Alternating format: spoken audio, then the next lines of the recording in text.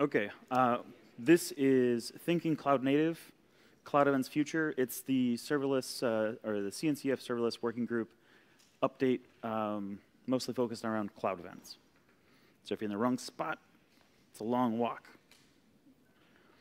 Uh, I thought I'd give a quick TLDR of how we got here, and then I'll move on to something completely different than we've done in other working group updates.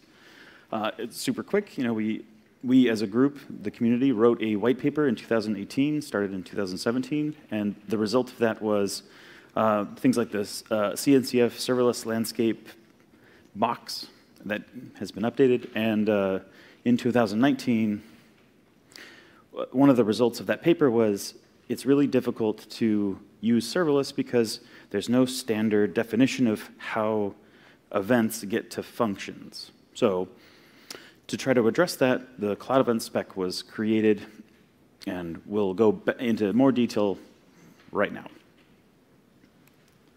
So this is the serverless landscape that was originally created. Um, was a bunch of research through uh, a, a, a, lot of people in the CNCF community and uh, Redpoint. And of course, it's evolved a lot since uh, four or five years from then. In fact, there's not a lot of similar pictures on this fiction. It's, it's, it's, it's crazy um, and really great. And uh, you know, now we have cloud events here, and that's what we're here to talk about.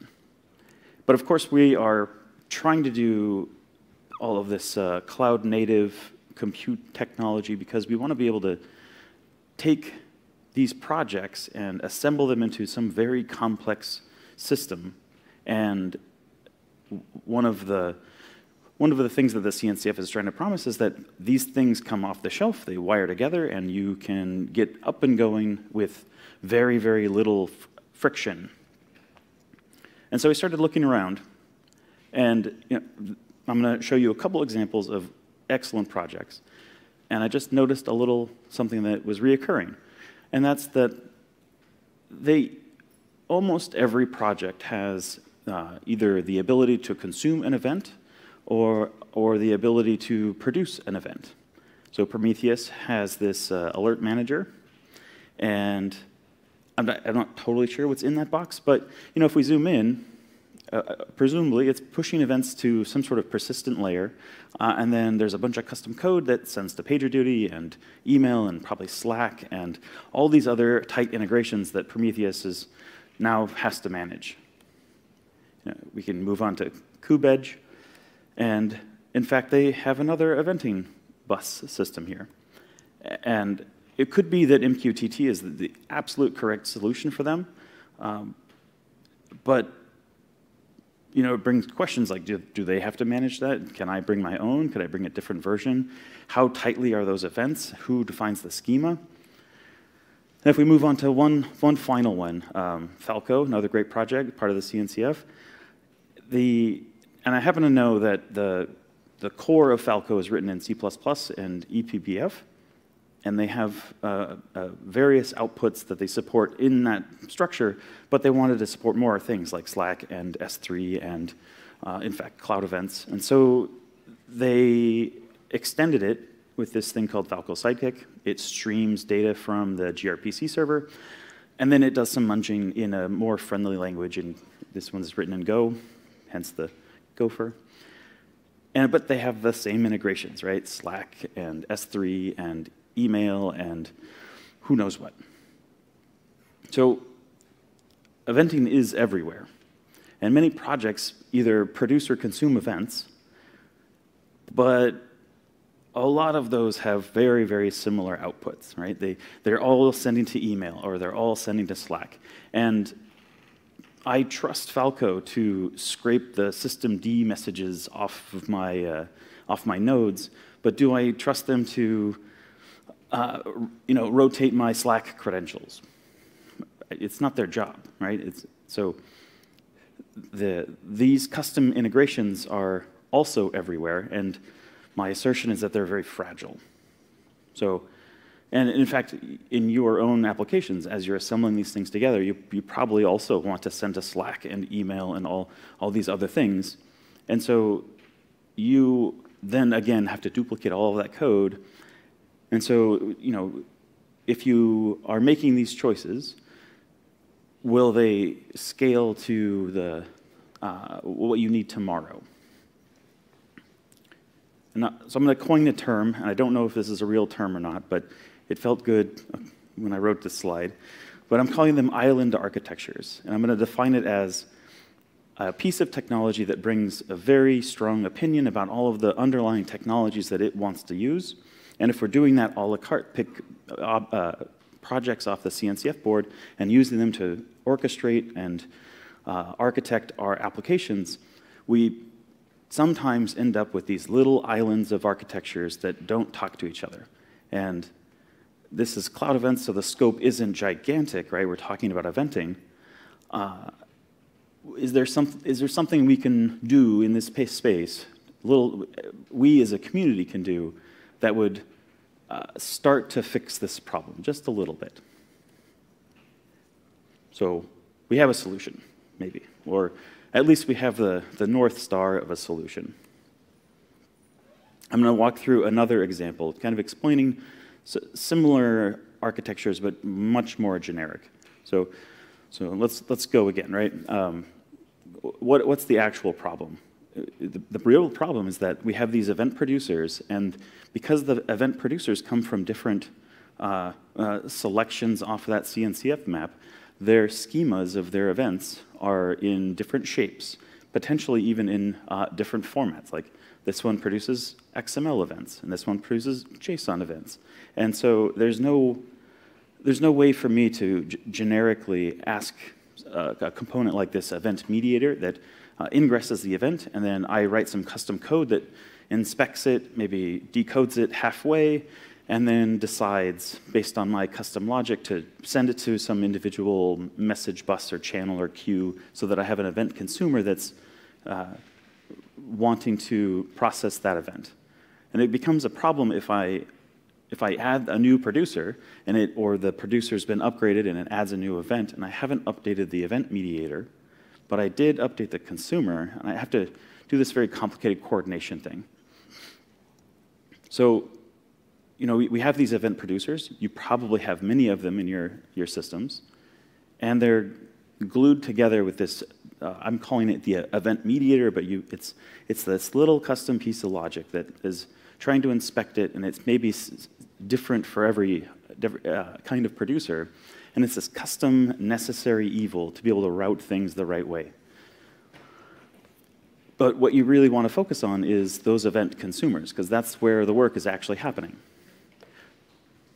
So if you, if you can't rely on some sort of common schema against all of your events, you have to write these, these routing configs, and they become part of your application and platform and they have to be developed and maintained. And, and so, what if we could define the event, but define it independent of the protocol? So, uh, it, we can define the event uh, independent of the shape of the event that's the actual payload. If we did that, we would be free to be able to choose the particular technology we're using to route the event, uh, and that could be the, the protocol that's the persistence layer. You know, we, we want to uh, save the event so we, we make sure it gets delivered, or it could be uh, the language that we are processing the event with. But often what happens is when you go to start a new project or you go to add a new piece, you have to make a hard choice that kind of sticks with the project forever unless you do a big refactor. And you're, you have to decide which of those persistent technologies we're going to use, which language we're going to use, what's the custom format of the internal event, or what's my event schema. And if you're a big organization, you better hope that it's at least a little consistent so that your, that router logic isn't uh, extremely difficult. So the, what, what Cloud Events is trying to do is uh, except that you have um, the event payload, the occurrence, the, the weird shaped object that you're trying to send around.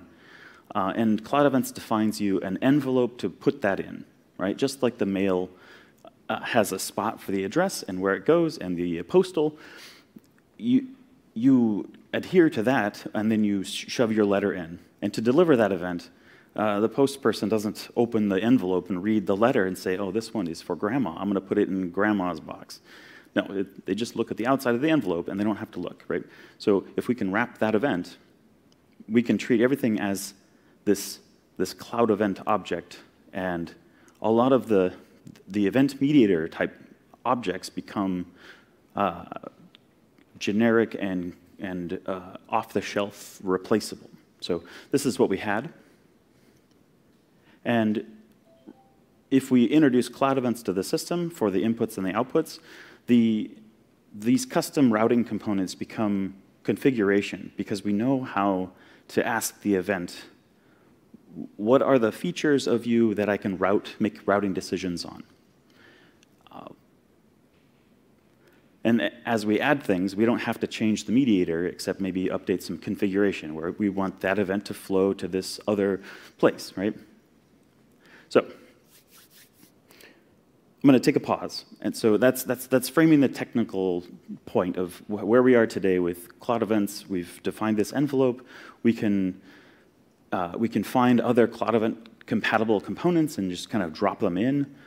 Um, but there's, there's more that we could do. And so I have a call to action to everyone that's uh, here today and watching the presentation. Um, if you produce a, any kind of event, make it a cloud event. Because if, uh, if, if, you're, if you're producing webhooks, we could take that and convert it to any other protocol and uh, route it to its wherever it wants to go with, with almost no code change on your side. It's adding some, some header if it's, if it's HTTP. If you're at the point where you have to make a choice, adopt cloud events internally because eventually you're going to want to make webhooks too to uh, connect uh, another organization or another cloud. And it'd be a whole lot easier if the external format and the internal format are the same, this, this cloud event thing. And if you're integrating with things, ask that project to produce cloud events. Because if, uh, if you're not asking for the cloud event support, it, no one's going to listen and, and we're not going to get a nice world where we can do fancy things like maybe the Prometheus and the Falcos and my projects all produce events, but they ingress it into some of these off-the-shelf common components where I can provide my own persistence. And then if, if Prometheus wants to provide me a, uh, an excellent Slack integration that's listening for those events, they wire it up to that event bus that's an off-the-shelf component. This stuff doesn't exist. I think we have to make it. But uh, it starts by agreeing that the cloud events format is the, the right direction and something that's worthwhile so that we can have nice things and we can delegate some of this responsibility where you know a, a new CNCF project comes up and says, we are the Slack and email and uh, uh, alert manager and etc. Kind of, uh, we know how to manage and rotate credentials and keep that stuff safe and push events. And uh, all you need to do is tell us the kinds of events that you would like to signal on so that we can produce those results. And then that frees the, the Prometheuses and the Falcos and the uh, your project and uh, all like maybe 80% uh, of the CNCF landscape, uh, they don't have to do those integrations in their project and they don't have to do those maintenances because they can decouple themselves from those integrations. So that's, that's my wild pitch is the, uh, we're going to move to a bridged island architecture because at scale this makes sense. And yes, it is very simple to make some of these integrations locally and test it. But it doesn't scale when you go to production because there are other concerns, you know, not just the, the ease that it is to uh, do that integration, but you have to maintain it, and you have to do the cert rotation, and you have to keep up with the patches uh, from that component, and et cetera, et cetera. You have to follow that upstream API if, if you're not actually, if you're not the Slack organization producing the component. So there's, there's overhead there that uh, all of these projects could avoid. Okay, so we're going to go back into some of the um, more boring mechanics of cloud events. so, okay, we're going to zoom way in. And I, am I'm, I'm going to try to answer the how does this help me? It sounds like you're asking me to do more work. Well, let's say you're picking Kafka as a delivery mechanism for your eventing systems. You have your business logic that's meant to, you know, it, it creates, it does business work, it does, uh, you know, it creates some sort of object, and then that object is the occurrence of the, like the thing happened, like somebody logged in or uh, Visa card was charged. And you have this custom glue that takes that object and converts it into the correct format that uh, Kafka expects. And then you delegate that object down to the Kafka library, puts it on the Kafka uh, queue over the wire and networking, uh, and then it goes in reverse and the consumer side consumes it, right? But you have to maintain that custom glue part because it's part of your application. And so what the what Cloud Events has tried to do is uh, the community has been developing a bunch of SDKs in a bunch of different languages to help replace that custom shim with an SDK that you can use to leverage to adapt it to other protocols. So you don't have to write that shim anymore. You can if you want to, though, because you know the first artifact of the, uh, this working group has been specifications that define the, the bindings between, we call them bindings, uh, the bindings between the, the thing that, you know, your event, this thing, and the, the weird shape that Kafka ex expects, which is different than what Nats expects, and which is different than what the HTTP wants. And so the, the point of the Cloud Events library is we got you. Whatever you configure with the protocol, you pass around your, your actual object, and we will help you create that protocol-specific shape and, and back out is the important part. And your business logic starts to just depend on the, uh, uh, the custom code. And yeah, okay, fine, yeah, it is the same picture, right? But the difference is you have to maintain that glue. I have to maintain that glue. I don't want to help you. And there's those you know, I type and, and uh, work on uh, code, our colleagues work on code, and then it helps everybody. And so the, there's a scale factor. If you find a bug, you come and you help me fix it because I need some help. but yeah, so uh, you know, you get to really focus on that business logic of producing and consuming. And this, this applies to uh, you know, those, that uh, selecting those CNCF projects too. You know, they're in this case the event consumer, and if they uh, leveraged Cloud Events SDK, they would have the ability to kind of at runtime select different protocol libraries. And how neat would that be? Says, you know, I, okay, let's say Prometheus uses Kafka uh, internally. I don't know. I don't. I'm just guessing. Maybe they do. Um, but I don't have any Kafka instances in my cluster, and I want to use Prometheus. So if, if they had an integration like this, I could have in their configuration, no, no, no, not Kafka, um, today I want to use Nats. And it would just be a configuration on installation, and I, I get to wire in, I, I bring my own persistence layer. And it is slightly more work for them to integrate, but it's way less work for me to operate it. So what, is, what does a cloud event look like literally? Um, I'm going to show you HTTP, and there's other protocols, and they look sort of sim similar. Uh, but this is HTTP structured. There's, there's two forms of HTTP, and that's really because sometimes in some languages, it's much easier to deal with the entire event payload as a JSON object, because uh, maybe, you know, maybe it's not as uh, easy to inspect headers in JavaScript versus in Go or uh, in Python or in, in whatever, pick your language. And what they really want to just, just I want to look at the, just the JSON part to implement my router. There's other protocols like uh, uh, NATS that just streams the JSON object. So it helps to have a JSON format. Uh, and this is what it looks like. So at the top level, there's some required attributes, and there could be additional extensions with some rules. And then there's the data piece, and there's some nuances there, but uh, you know, find me later and we'll talk about the nuances. And so you, you know, your weird shape object gets shoved into the data piece. and so I just heard a question. Um, yeah, so if it's an image, it works too. But it's because an image doesn't fit into JSON normally. It gets base 64 encoded, so any kind of data can get pushed into this data field with some rules. Uh, it, and you know, we pay for a, a bigger size, but we get to send this binary data in binary mode in HTTP, all of those routing metadata, all the, the, you know, right? So let's go back to why we're doing this, right? The, the reason we're doing this is because we want to have a consistent way to do routing decisions on events in uh, off-the-shelf components that connect producers and consumers of events, right? Because that was the friction point of why we can't adopt serverless so easy. So the weird shaped thing here is this, uh, the little, the green part. It's the data. That's the stuff that you made. It's weird. The blue stuff is what the serverless working group has created, and it's it's totally not weird. No.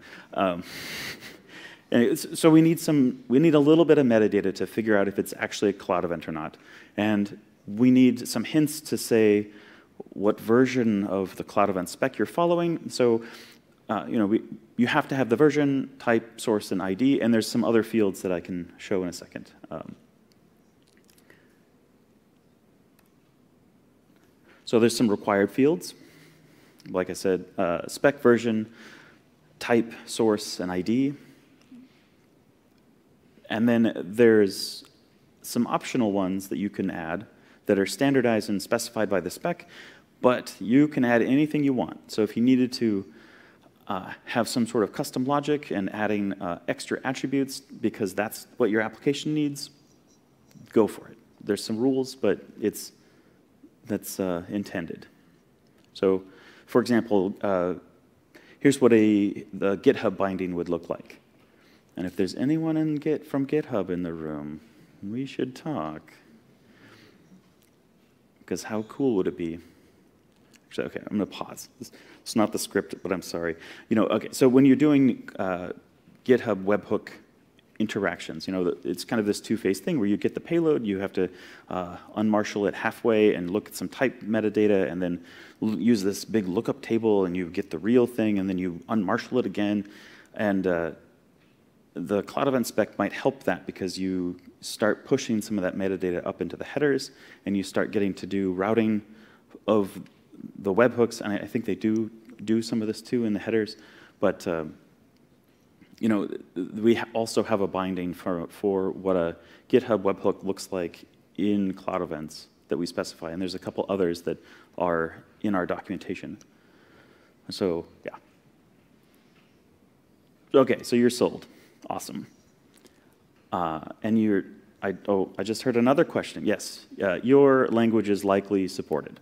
So and if it's not, um, talk to us. Maybe you could help us make the new binding. All it takes is um, a bit of dedication and uh, reading some of the binding specs to be able to figure out how to take the natural object in that language and convert it to the protocol-specific uh, integration in that language.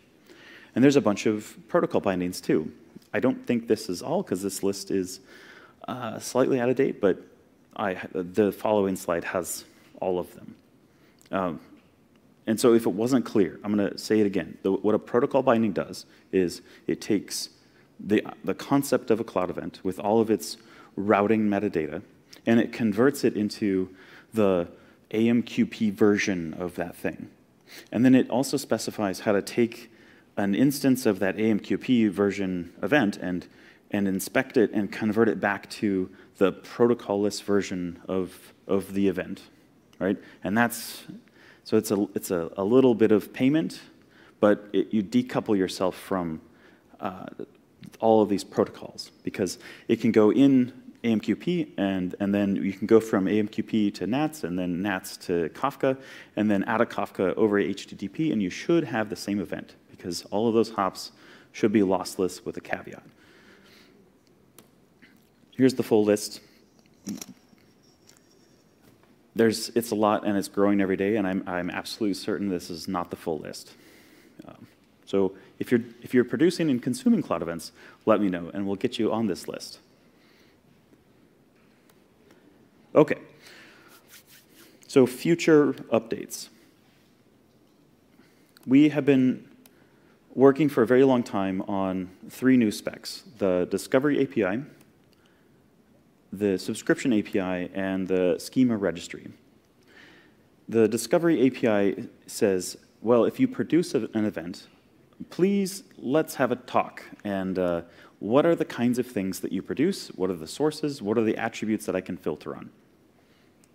Once you know what you can filter on, you can talk to the subscription API on that producer and say, I would like to subscribe to this subset of, of things, right?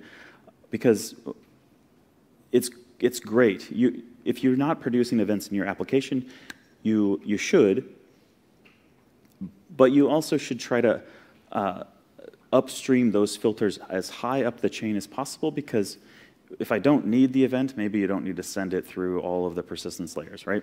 So the, the, the idea is that if we could standardize the subscription API, we could standardize the mechanism to do that filter propagation through big elaborate chains. And then as soon as somewhere down the chain someone's interested in that event, that also propagates up and the event starts flowing and we get interesting application uh, scenarios. And then uh, finally, there's a schema registry. You know, at the end of the day, this is about your weird shaped object in the inside. And so the schema registry provides a mechanism to describe the schema of what's inside the, the actual event because that's honestly what's important, right? The discovery and subscription APIs are about um, being able to orchestrate flows of, of events between producers and consumers. But the schema registry is about maybe I could I know you produce this event and it has this kind of context. Maybe I could produce a function that just handles it. So the big, we've, we've had these for a while, and you, you're probably saying, I saw this talk last year, and you're, you're right. And it turns out that these three things are pretty tricky, and we, um, one of the things we've been doing is uh, independently, a bunch of people have been implementing the specs to just read through them and make sure it's clear. And the thing that we decided was there needs to be an offline mode because I would like to be able to point to uh, some repo that implements the generic discovery ser service or my, and there's a, a set of documents that describe exactly the ins and outs of the event. Maybe it has the schema registry offline documents, and I can do a bunch of development uh, without having to actually interact with a running server somewhere. So uh, that was the feedback we're taking. We're trying to roll that into um, an updated spec, uh, but we're still very close to uh, doing an RC of these three specs. I, I, I bet um, in the next couple months we'll have an RC. So if you're interested in that too, we are looking for more people to go do that exercise of read the spec and implement it. They're not that complicated. Uh, we just want to make sure that we have the spec uh, concise and clear because, you know, being a, a working group that's based in specs, if the spec doesn't translate to interoperable systems, we aren't doing a good job. So we, we need to get that uh, straightened out. So we need your help. And I have a few minutes for questions.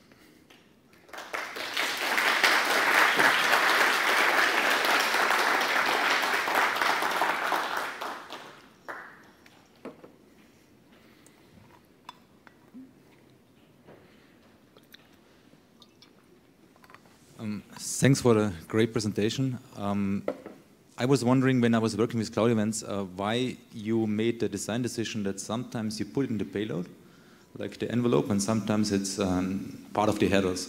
For me, it was a more obvious choice to have it in the headers because it gives the, the flexibility based on infrastructure, whatever, making routing decisions, and also like based on request filters um, that you have without unmarshalling the whole object. Yes. Yes, so um, there are other eventing systems that natively speak JSON internally. And so it would be expensive to try to figure out how to convert you know, the, a JSON thing into a non-JSON thing and back at it. And so the, the answer is that there are a lot of systems that do just look at JSON. And they make routing decisions based on a very uh, simple scan of the, the schema and they do that one level unmarshal. They have optimized it to do that. Um, there are other ones that don't want to modify the, the event payload at all. And so we have structured mode to support the, the native JSON. Like, I think all of Amazon's just JSON, right? There's, they don't really use headers to do this kind of thing. But there are other systems like uh, GitHub Webhook where we don't really want to wrap their payload to convert it to a cloud event.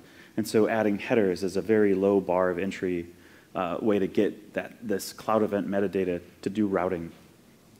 And the cool thing is that you can convert them in and out of structured or, or uh, binary mode with, with uh, um, a little bit of processing, but no loss.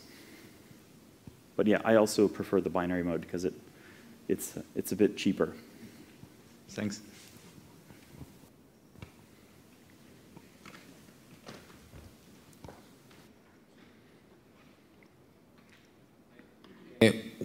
When I produce a message to a Kafka, for example, so I want to serialize the message with a protobuf or Avro or something like that. How it's come uh, to implicate if I use cloud event? When, when I serialize the, the message before the cloud event, the, in the cloud event himself, uh, that's it. Yeah, um, we, we do have an Avro binding that uh, helps address some of that. And we, we also have a proto binding, but uh, if it's already been serialized, it, it uh, complicates matters. So it's, that's kind of, that's, that's what I'm hoping to get across, is that it'd be easier if upstream the event was produced as a cloud event versus needing to figure it out later. Is but that, also if the event is also if the event is produced by cloud event, so I want a structure to to my event. Uh, the event is a I don't know, it's it's class of humans or something like that. The protobuf give me the class himself. If if the it's cloud event, I don't have uh, the fields that I, I need. You, you understand what I mean? Yeah. Well, if it's not working, let's talk and let's get it fixed. Because okay. I think that's the point: is that it's a, a useful thing that people actually use. Thanks.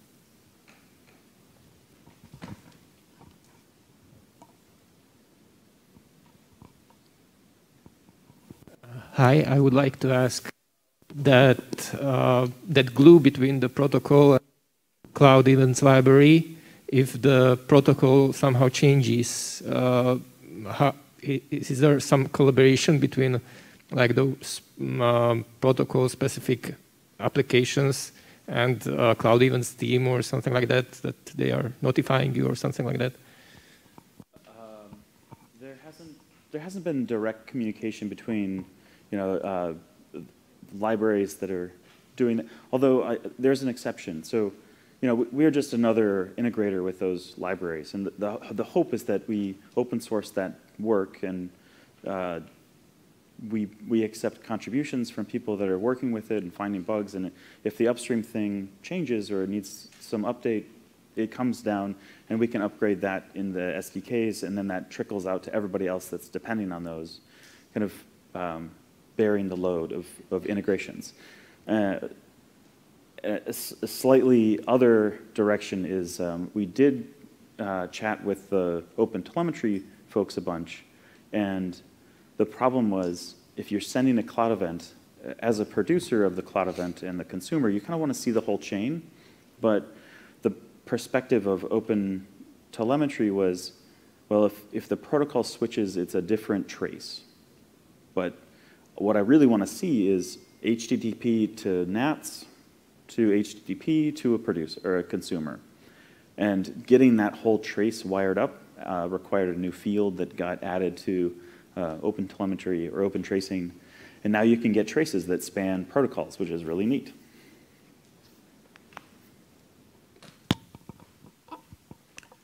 Um, coming from a perspective of a developer who's building you know, applications that produce events or application that consumes events. I'm trying to understand the value because you, you had touched earlier, because um, if the thing inside the cloud event changes, I have to redeploy both anyway. So Uh, and um, in, in, a, in an architecture like that, I'm sort of, like all the routing stuff, I'm relying on some sort of a messaging system, right? So Yep. I don't play in that space. So I'm, I'm trying to understand some, you know, where would, you know, where would this fit in? Uh, is it really the platform, the folks that are running the platform that has the responsibility of making sure the event gets to where it needs to? They're the ones, that's what I'm thinking, but I wanted to kind of hear from you. Yeah. Uh, so, so the way I like to try to answer this question tends to be the. So as a developer, I want to I want to write that Slack that tight Slack integration that I, I know that I'm listening to this thing and, I, and there's several events that I'm interested in and they cause other things. Uh, but in production, it's it's a Kafka, and it's very expensive, and I want to be able to test it in QA. And if my function that's or my service is is tightly bound to Kafka, the way I have to integrate, uh, like unit test that, is by standing up fake Kafka servers and, and pushing data through. Uh, and if I want to do an integration test, I have to have like a real Kafka cluster and figure out how to tear that up and down and uh, run those tests through it. But if I supported the, this idea of, well, I could shim it and I want to operate on the cloud event, not the, the Kafka uh, event, then I can switch my protocol inside my QA environments or my uh, CI environments to something that's you know, cheap and cheerful, maybe doesn't have persistence, but in production it's rock hard and has persistence until, uh, for, for all of time or, or whatever. And so I, I think not having to think about that as a developer is the hope, but it's also beyond the scope of what cloud events is but because Cloud Events is trying to define this common shape, we enable other, uh, there's a few other um, groups that are building solutions like that, that you can kind of replace the middle piece. One other question. Um, it does feel like soap. Well, it's, um, so the, the Cloud Events group has been very specific about not defining the runtime yet. And so, you know, if you look at the repo, it's, it's a specification that describes uh, what should be available to route on, and then a bunch of specifications that define, you know, generic thing to protocol specific thing and back. And that's, that's kind of the extent right now versus uh, runtime characteristics that you know others like Knative Eventing or um, Argo have kind of expanded on because they needed a runtime contract, and Cloud Events is not providing that. Uh, The, the role of Cloud Events is to take the thing that was a protocol specific thing and turn it into something that's generic and useful, so that you don't have to worry about the, that protocol piece.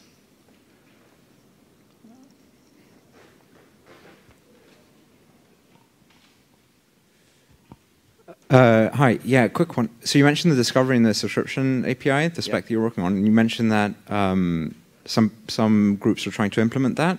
Um, so can you give some examples of the projects that are happening in that space? Oh, um, s- we, um, we are internally to the working group, we're looking for volunteers to read the specs and produce an implementation.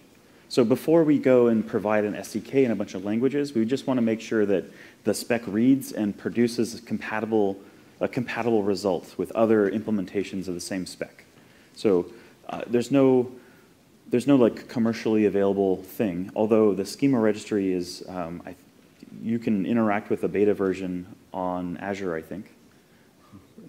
And, and for the other stuff, I'm just looking to see some concrete examples. It Oh, doesn't matter if it's ready yes. or not, right? Ping me in the Cloud Events, uh, the Cloud Events room in the CNCF Slack, and I'll send you some repos.